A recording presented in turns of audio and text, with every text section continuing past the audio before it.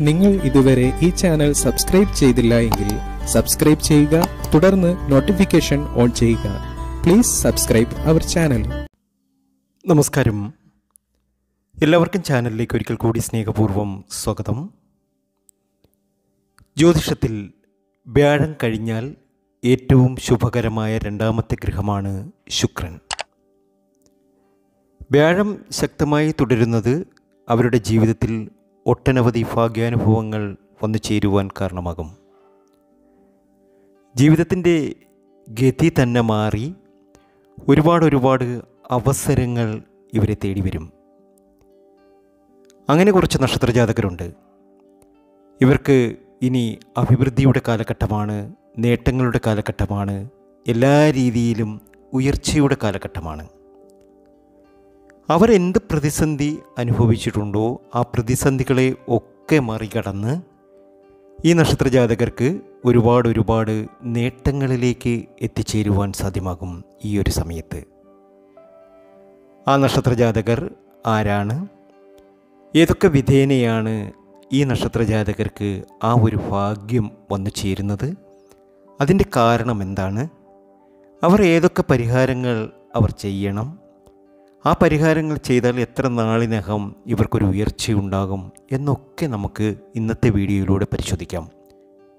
അതിനു മുമ്പ് എന്നത്തെയും പോലെ ഇന്നും നിങ്ങളിൽ നിന്നും ആ വിലപ്പെട്ട ലൈക്ക് പ്രതീക്ഷിക്കുന്നു. അതുപോലെ തന്നെ നമ്മുടെ ഈ വീഡിയോ ഇഷ്ടമാകുന്നുണ്ട് എങ്കിൽ നിങ്ങളുടെ മറ്റ് സുഹൃത്തുക്കൾക്കും ബന്ധുക്കൾക്കും ഇതൊന്ന് ഷെയർ ചെയ്യുക. എന്റെ ഉപാസനാമൂർത്തിയായ മുത്തുമാരിയമ്മയ്ക്ക് ശർക്കര പായസം നീതിച്ച് പൂജകൾ അർപ്പിക്കുന്ന വെള്ളി ചൊവ്വ ദിനങ്ങളിൽ നിങ്ങൾക്കും നിങ്ങളുടെ കുടുംബാംഗങ്ങൾക്കും വേണ്ടി പ്രാർത്ഥിക്കുന്നതാണ് പൂജകൾ ചെയ്യുന്നതാണ്. നിങ്ങളുടെ പേരും ജന്മനക്ഷത്രവും കമന്റ് ബോക്സിൽ കുറിക്കുക. ജീവിതത്തിന്റെ പ്രതിസന്ധികളെ ഒക്കെ തരണം ചെയ്ത് ഒരുപാട് ഒരുപാട് നേട്ടങ്ങൾ നിങ്ങളിൽ വന്നു ചേരുവാൻ ഇത് കാരണമാകും. നിങ്ങളുടെ ജീവിതത്തിലെ പ്രശ്നങ്ങളൊക്കെ മറികടക്കുകയാണ് എന്നുണ്ടെങ്കിൽ നിങ്ങളെ സംബന്ധിച്ചിടത്തോളം നേട്ടത്തിന്റെ സമയം തന്നെ വന്നു ചേരും. ഈശ്വരാധീനം കൊണ്ട് നിങ്ങൾക്കൊക്കെ ഒരു ഉയർച്ചയുടെ സമയം ഉണ്ട്. ആ ഒരു ഉയർച്ചയുടെ സമയം തന്നെയാണ് ഈ ഒരു സമയം.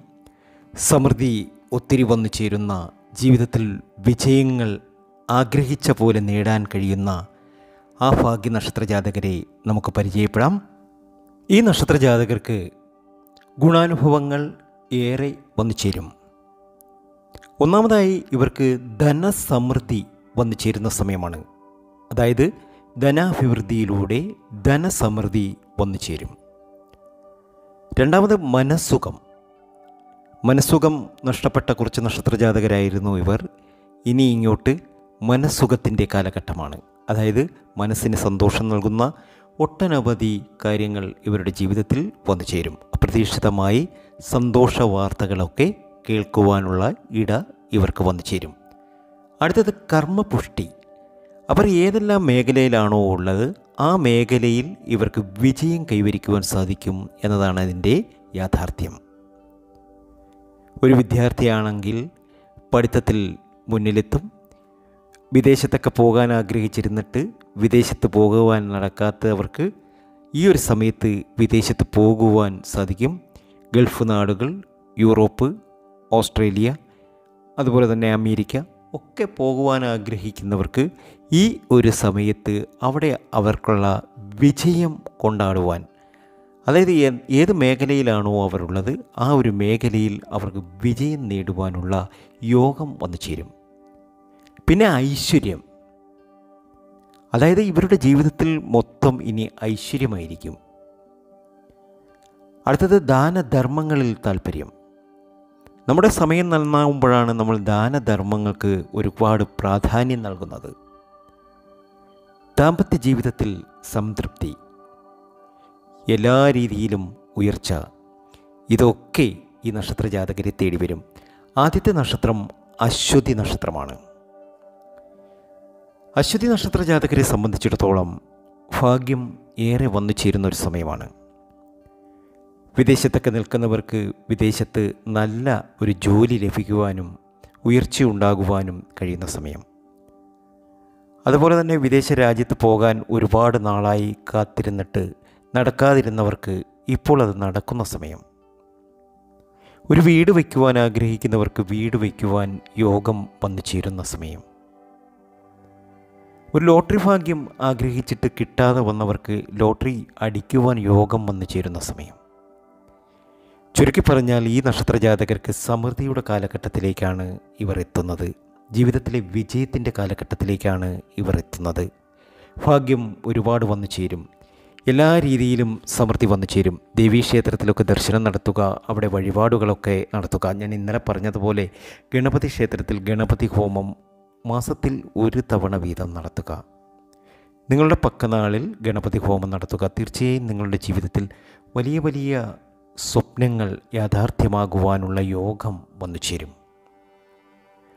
അത്രയേറെ ഭാഗ്യത്തിലേക്കാണ് ഇവർ കടക്കുന്നത്. അടുത്ത നക്ഷത്രം കാർത്തികയാണ്. കാർത്തിക നക്ഷത്ര ജാതകരെക്കുറിച്ച് പറഞ്ഞാൽ കീർത്തി കേൾക്കും എന്നാണ്. തീർച്ചയായും ഈ നക്ഷത്ര ജാതകർക്ക് ഒരുപാട് ഒരുപാട് ഭാഗ്യാനുഭവങ്ങൾ വന്നു ചേരേണ്ട സമയമാണ്. ഈ ഒരു സമയത്താണ് ഇവർ രക്ഷപ്പെടുക. ഇവരുടെ ജീവിതത്തിൽ മുപ്പത് വയസ്സിന് ശേഷം ഈ നക്ഷത്രജാതകർക്ക് നല്ല സമയമാണ്. ഇപ്പോൾ ഇവർക്ക് ഭാഗ്യാനുഭവങ്ങൾ ഒരുപാട് വന്നു ചേരും. ഒരു ഇരുപത്തെട്ട് വയസ്സ് കഴിഞ്ഞതിന് ശേഷം വിദേശത്തൊക്കെ പോകാൻ ആഗ്രഹിക്കുന്നവർക്ക് വിദേശത്ത് പോകുവാൻ സാധിക്കും. ദാമ്പത്യ ജീവിതത്തിൽ സുഖമുണ്ടാകും. സ്വപ്നങ്ങൾ സാക്ഷാത്കരിക്കുന്ന സമയം എല്ലാ രീതിയിലും നേട്ടങ്ങൾ വന്നു ചേരുന്ന സമയം.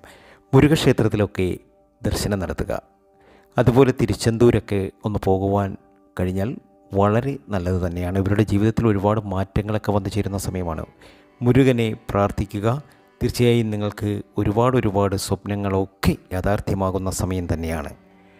അടുത്ത നക്ഷത്രം രോഹിണിയാണ്. രോഹിണി നക്ഷത്ര ജാതകർക്കും അനുകൂലമായ ഒരു സമയമാണ്. കല്യാണമൊക്കെ ആഗ്രഹിച്ചിരിക്കുന്നവർക്ക് അല്ലെങ്കിൽ ഒരു പ്രേമ ബന്ധത്തിലൊക്കെ ഏർപ്പെട്ടിരിക്കുന്നവർക്ക് ആ വിവാഹമൊക്കെ നടക്കുവാൻ കഴിയുന്ന ഒരു സമയമാണ്. എല്ലാ രീതിയിലും സമൃദ്ധി വന്നു ചേരും എല്ലാ രീതിയിലും ആഗ്രഹങ്ങൾ നടക്കും ഈ നക്ഷത്രത്തിന്.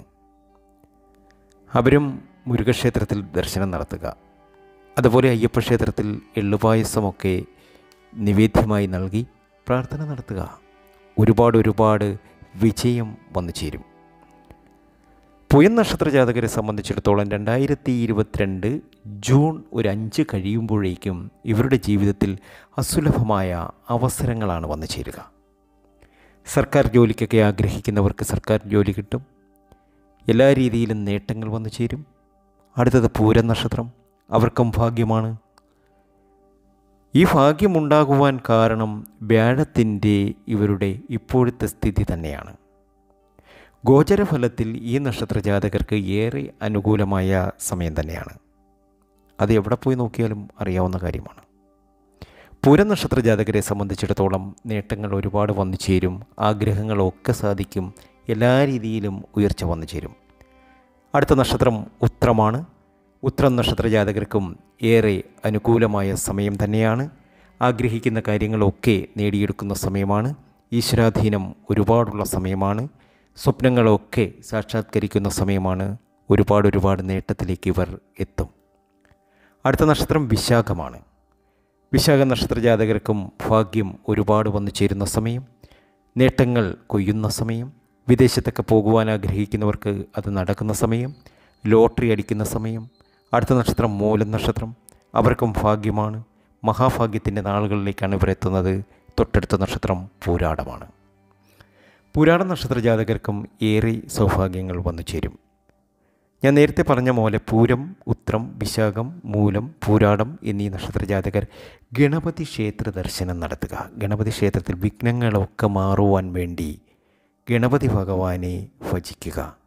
ഗണപതി മന്ത്രങ്ങൾ ചൊല്ലുക. അതുപോലെ ശ്രീരാമ മന്ത്രം ചൊല്ലുക. അതൊക്കെ ജീവിതം മാറ്റിമറിക്കും. എല്ലാ രീതിയിലും ഉയർച്ചയുണ്ടാകും. ആഗ്രഹിക്കുന്ന കാര്യങ്ങളൊക്കെ നേടിയെടുക്കുവാൻ സാധിക്കും. അടുത്ത നക്ഷത്രം ചതയമാണ്. ചതയ നക്ഷത്ര ജാതകർക്കും ഭാഗ്യമാണ്. ഒരുപാട് ഉയർച്ചയാണ്. ജീവിതത്തിൽ വലിയ വലിയ നേട്ടങ്ങൾ നേടേണ്ടവർ തന്നെയാണ് ഇവർ ഇനി അങ്ങോട്ട് നേട്ടത്തിന്റെ സമയമാണ്. രേവതി നക്ഷത്രം. രേവതി നക്ഷത്ര ജാതകർക്കും വിദേശത്തൊക്കെ നിൽക്കുന്നവർക്ക് അല്പം പരീക്ഷണങ്ങൾക്കൊക്കെ വിധേയരാകേണ്ട സമയമാണ്. അതായത് ജോലി പോകും എന്ന മാനസികാവസ്ഥ തന്നെ ഇവർക്ക് വന്നു ചേരാം പക്ഷേ ഇതുകൊണ്ടൊന്നും ഇവർ തളരേണ്ട. പുതിയൊരു ഓപ്പർച്യൂണിറ്റി ഇവർക്ക് തുറക്കുകയാണ്. ഇവർ രക്ഷപ്പെടുക തന്നെ ചെയ്യും. ഇവർക്ക് ഒരു പ്രതിസന്ധികളെയും വലിയ രീതിയിൽ നേരിടേണ്ടി വരില്ല. അതിസ അതിജീവിച്ചുകൊണ്ട് തന്നെ ഇവർ ഉയർച്ചയിലെത്തും. ഇവർക്ക് അത്രയേറെ ഭാഗ്യത്തിലേക്ക് ഈ നക്ഷത്രജാതകർ എത്തും എന്ന കാര്യത്തിൽ യാതൊരു സംശയവും വേണ്ട. ഭാഗ്യമാണ് മഹാഭാഗ്യത്തിന്റെ നാളുകളാണ്. കൊതിച്ചത് ഒക്കെ നിങ്ങൾ നേടും. നിങ്ങൾ വിജയിക്കുവാൻ വേണ്ടി മാത്രം ജനിച്ചവരാണ്. വിജയം നിങ്ങൾക്കൊപ്പമുണ്ടാകും. ആഗ്രഹിക്കുന്ന കാര്യങ്ങളൊക്കെ നിങ്ങൾ നേടിയെടുക്കും ജീവിതത്തിൽ. അത്രയേറെ സൗഭാഗ്യമാണ് അത്രയേറെ നേട്ടമാണ്. ആ നേട്ടമൊക്കെ നിങ്ങൾക്ക് നിങ്ങളുടെ ജീവിതത്തിൽ വിനിയോഗിക്കാൻ കഴിയട്ടെ എന്ന് പ്രാർത്ഥിക്കുന്നു. മറ്റൊരു വീഡിയോയുമായി വീണ്ടും എത്തും വരെ നന്ദി നമസ്കാരം.